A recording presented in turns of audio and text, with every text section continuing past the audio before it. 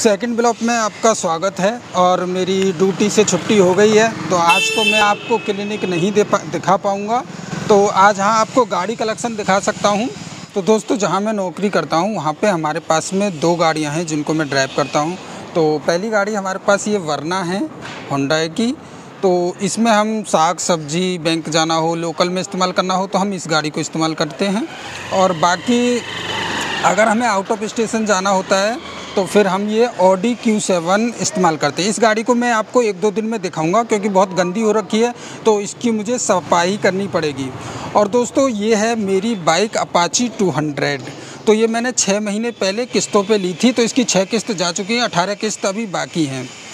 तो अभी तो मैं घर जा रहा हूँ, क्योंकि मेरी दीदी का फ़ोन आया था। तो दोस्तों, अभी मैं अपने घर जा रहा हूँ। अपने रूम पे, क्योंकि मेरे दोनों जीजी और भांजे, भांजी, जीजा सब आए हुए हैं। क्योंकि पहले मेरे जीजा जी चंडीगढ़ में पोस्टेड थे तो अभी उनका ट्रांसफ़र दिल्ली हो गया है। तो अभी उनके लिए रूम भी दिलवाना है। उनका सारा सामान मेरे घर पे ही पड़ा हुआ है। तो फ़िलहाल मैं घर जा रहा हूँ और अभी मैं इस ड्यूटी से जा रहा हूँ, जो कि मेरी ये परमानेंट जॉब है। तो रात को आठ बजे मुझे पार्ट टाइम जॉब पर भी जाना है। वो भी ड्राइविंग ही है। तो फ़िलहाल मैं घर के लिए निकलता हूँ।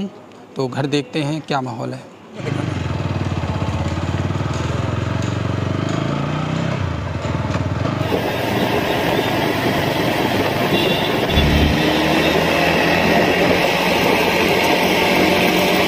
तो दोस्तों मैं घर पे आ चुका हूँ, आके नहा लिया हूँ, बाइक मैंने नीचे खड़ी कर दी है। अब अपने रूम में आया हूँ, अभी आपको मैं अपना रूम भी दिखाऊँगा और मेरे जीजा जी हैं, किचन में लगे पड़े हैं, दीदी भी लगी पड़ी हैं, छोटी दीदी बैठी हैं सामने तो अभी सबसे मिलाता हूँ। तो दोस्तों, ये है मेरी छोटी दीदी, जो मेरे से छोटी हैं, और अंदर जीजा जी और बड़ी दीदी काम कर रही हैं, खाना बना रही हैं।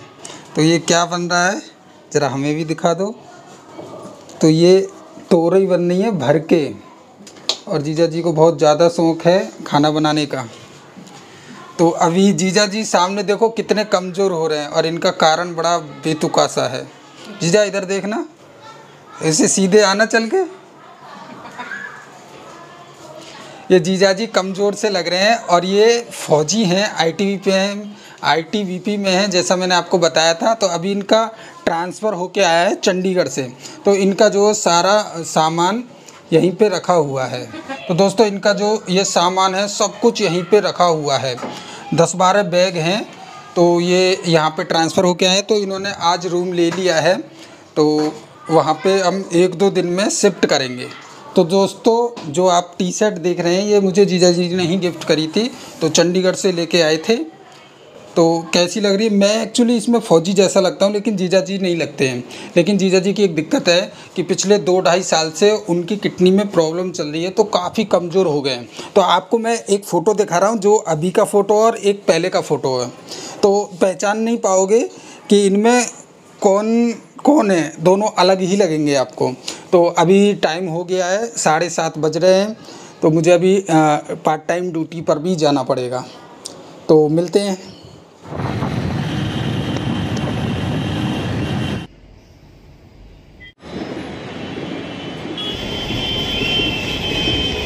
दोस्तों पार्ट टाइम जॉब पे मैं आठ बजे करेक्ट आठ बजे पहुँच गया था, लेकिन आधा घंटा वेट करने के बाद में क्लाइंट बाहर आए और एक बच्चा था, बच्चे के साथ में बेबी सीटर थी और एक आंटी थी और एक अंकल थे। तो अंकल मेरे साथ आगे बैठे थे और आंटी और बच्चे और बेबी सीटर पीछे बैठे थे।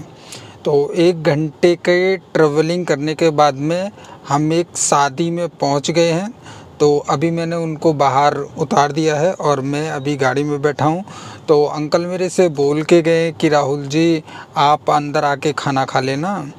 तो वैसे आपको मैं एक चीज़ बता दूँ मुझे ए, किसी भी शादी में खाना खाने में कोई इंटरेस्ट नहीं होता है और मैं ऐसे कभी जाता भी नहीं हूँ। तो मैं अपना गाड़ी में ही बैठा रहता हूँ अपना फ्री फायर खेलता रहता हूँ और वीडियो वगैरह या रील्स वगैरह भी देख लेते हैं तो ये रहता है। तो बेसिकली अभी जो इनकी जो गाड़ी है ब्रांड न्यू कार है टाटा सफारी तो आज मैंने ये फ़र्स्ट टाइम चलाई है, बहुत अच्छी कार है।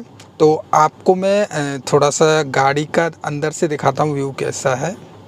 ये है टाटा सफारी का लोगो ये मीटर है और आज मैंने ये फ़र्स्ट टाइम ड्राइव करी है, क्योंकि इससे पहले मैंने टाटा सफारी नहीं चलाई थी, क्योंकि हमारे पास तो वहाँ पे वरना और ऑडी है तो ये ऑटोमेटिक ऑटोमेटिक कार है और बटन से स्टार्ट होती है। तो काफ़ी स्मूथ है, अच्छी बनाई है, लेकिन पहली वाली टाटा सफारी के मुकाबले अच्छी है और इसमें जो है सनरूफ पूरा छत का दे रखा है तो बहुत अच्छा सनरूफ भी है। तो ये एलईडी लाइट है आगे और इसका सिस्टम ऑटोमेटिक है। अभी पता है मेरे साथ क्या हुआ? मैं आ रहा, अब मैंने मोबाइल में नेविगेशन चला रखा। तो इस सिस्टम ने अपने आप ही मेरा फ़ोन कनेक्ट कर लिया। अपने आप ही, जबकि मेरे फ़ोन में कुछ भी ऑन नहीं था। मैं कह रहा यार, मेरे फ़ोन का स्क्रीन इस पर ऑटोमेटिक कैसे हो गया? तो शायद ये जो है ना, एक नियर बाई डिवाइस होता है, वो मेरे फ़ोन में शायद ऑन होगा। उसकी वजह से इसने कनेक्ट कर लिया। तो काफ़ी स्मार्ट है ये भी गाड़ी।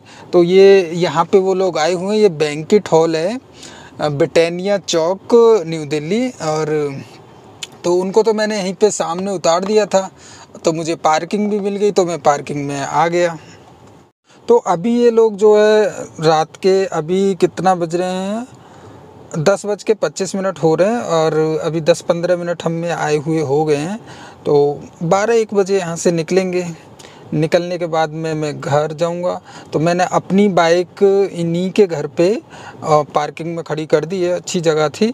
तो अब रात को जाऊँगा, फिर उसके बाद में घर पहुंचूँगा। लेकिन मेरे घर से मुश्किल से दस मिनट की दूरी पे है। तो आज का ब्लॉग मैं यहीं समाप्त करता हूँ। मिलते हैं नेक्स्ट ब्लॉग में। बाय।